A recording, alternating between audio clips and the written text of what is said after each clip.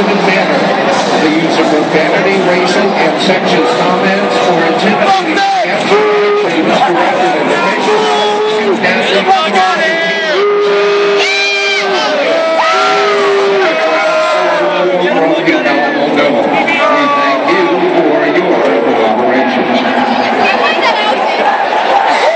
Today's game officials.